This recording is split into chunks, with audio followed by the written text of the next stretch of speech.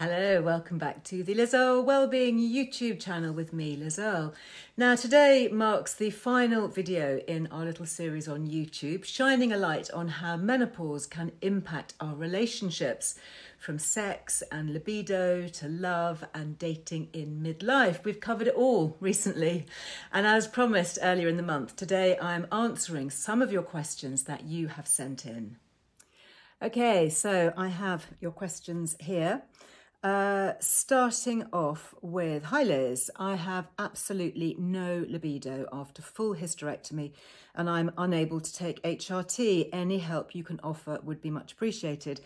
Okay, so the first thing to say is that there is definitely help for those who've had hysterectomies uh, to take HRT, and that is definitely something that you should be talking about with your doctor. In fact, when you have had a hysterectomy, actually replacing hormones can be even more important. So, that is kind of the fundamental advice. But also, there's lots of different forms of HRT.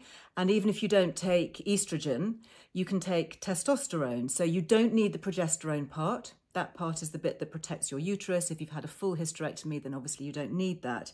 But you can take testosterone and you can also have vaginal HRT. You can have vaginal estrogen, for example, which is considered extremely safe. So pretty much everybody can take that and there's no issue. So just to show you, uh, this is what the licensed testosterone looks like for women. Unfortunately, in the UK, it's only available privately. It's called AndroFeme. And otherwise, a lot of GPs will prescribe the male version off license. And in fact, it is one of the things that is regulated in the UK for loss of libido. So it is something that you could definitely talk about with your GP and hopefully get some help. So I really hope that that does help you. We've got lots more resources, obviously, on Liz Earle Wellbeing if you want to go and have a quick look. And I'll make sure that we pop all the links on the caption below.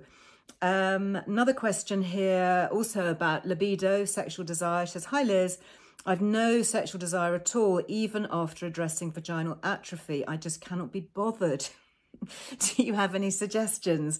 Uh, and also another question, Hi Liz, what natural supplements can help with libido? Okay, so uh, let's do the first issue there about vaginal atrophy. So that is super common because what happens during perimenopause and menopause is that we lose our estrogen from the vaginal area and that can lead to dryness. So if you're taking systemic HRT, which is like the transdermal gels or patches or tablets, then that can help. But sometimes it's not enough. You know, sometimes even if you're already having that kind of HRT, you still need a little bit of localized vaginal estrogen. So this is what it looks like, just to show you. These are some of the kinds. These are the little pessaries. They're called Vagifem and you use these, you can use them every day. Sometimes you're suggested to use them maybe once or twice or three times a week. It just sort of depends on your symptoms. Super safe. They stay within the vaginal cavity, so they don't go throughout the body. So that means that even those who are having treatment for current breast cancer can take vaginal estrogen, and that's a conversation that you need to have with your medic. Um, there's another form as well that you can take. This is called Intrarosa. Comes in little pessaries like this with a little applicator. And again, this is super safe. You can use it every day. And it contains something a little bit different. It's DHEA. And DHEA converts to testosterone. This has also got a little bit of estrogen in it. And it really helps not only with vaginal dryness, but it can also impact and improve libido. So that is something definitely to talk about. This one's called Intrarosa. You can look it up online. You can find out more about it. So that will certainly help. In terms of natural supplements, okay, I do have a slight issue with that word because hormones are natural. You know, we are made of hormones as women. And if you have body identical hormones, which most regulated NHS HRT is these days, it comes from the wild yam plant, these are naturally occurring compounds within the body, more natural, I would argue, than some of the herbal remedies. You know, you can take things like black cohosh and sage, for example, but they're not naturally found within the body, but our hormones are. So that's kind of, I guess, my little soapbox bit. But if you want to look at some of the herbs that have been associated with helping with libido, I guess one of the most famous is probably maca, M-A-C-A, maca. And you can find that in all kinds of supplements. You can find it in Life Armour. You can find it in Indi supplements. I'll pop a link below actually to some of the favourite ones, many of which have a Liz Loves discount. So do go and take a look. So maca is something to look at. Also Siberian ginseng, that's often used by herbalists for women with libido issues. Uh, ashwagandha is another adaptogenic herb that can also help. And actually, you know, prioritizing your sleep, making sure that you feel rested and not stressed. Magnesium, I particularly like magnesium glycinate. That's particularly useful at bedtime just to help sort of relax you and calm you, make you feel a little bit less anxious. So I hope that those are some of the natural remedies, some of the sort of plant-based options or herbal options that might help. Okay, so on to the next question. Uh, hi Liz, my husband had aggressive prostate, so sex is no more. Some advice, please. I'm really sorry to hear that. Um, okay, so I did a podcast recently with a brilliant sex therapist called Kate Moyle. Do take a listen to that. Again, we'll pop the link so that you can have a listen easily. She had a very interesting view on kind of defining sex because we tend to think of sex as only penetrative sex. But of course, it's so much more than that.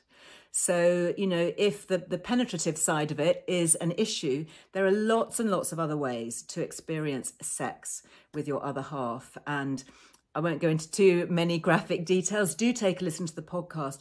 But I think it's really helpful because it's helpful to redefine what sex is and that level of intimacy that doesn't always have to come from like the straightforward view of penetrative sex. Okay, it can still be erotic and sensual and pleasurable and sharing and caring and all those lovely things that we associate with a really positive and healthy sexual relationship. So I hope that is helpful for you.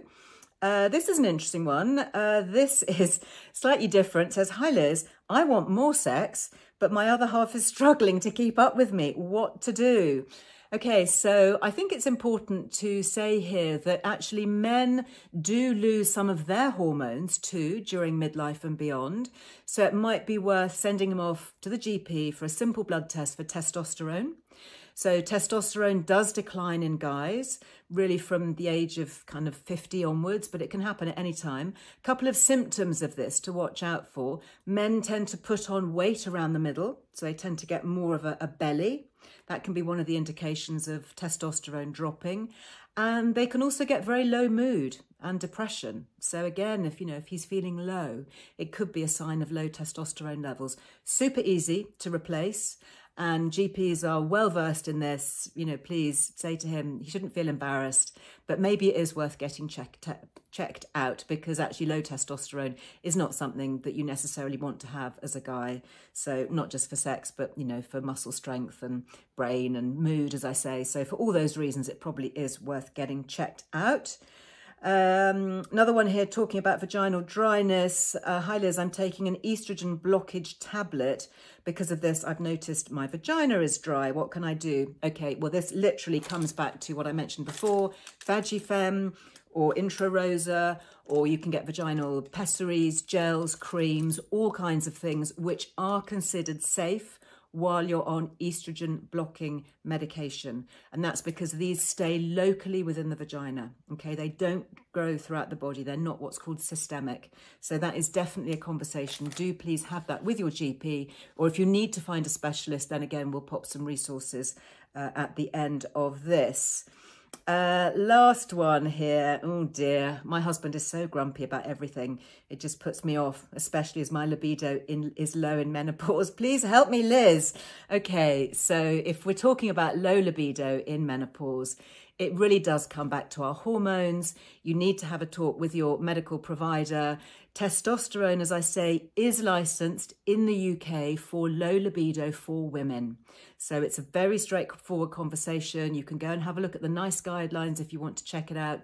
We've got resources. You'll find more in a little e-guide that I wrote called The Truth About HRT. It talks about that. But testosterone genuinely is the answer for women as well as for men to put you back in the mood. Well, I hope this is helpful. So I hope that helps, even just a little. As ever, do take a look at the Liz Earle Wellbeing website, as we have so many helpful free resources on there, from blogs and e-guides to a whole library of podcasts, loads of great stuff to dive into. And of course, not forgetting our fabulous wellbeing community on Instagram, on Facebook, TikTok even, and of course right here on YouTube. We can all share the love and help each other. Well, that's it for this week. Next week, I'll be back with another vlog, so do make sure that you are subscribed to never miss a film clip or an episode. Until the next time we chat, go well. Bye bye.